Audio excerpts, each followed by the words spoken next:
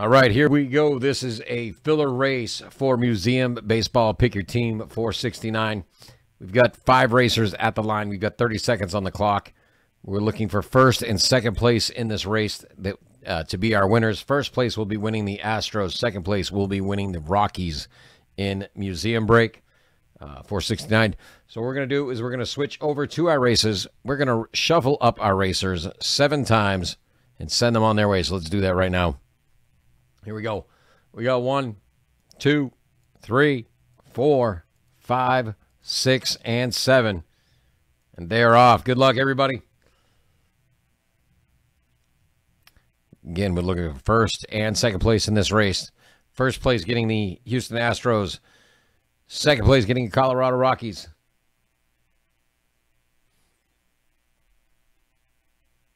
And that break actually be coming up here in just a little bit.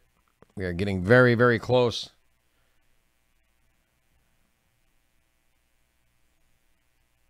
Only a couple teams left. All right, we got Joe S. Congratulations. You got the Astros in museum. Who got spot two? Craig F. You got the Rockies. Congratulations, guys. We will see you in the break. Thank you all.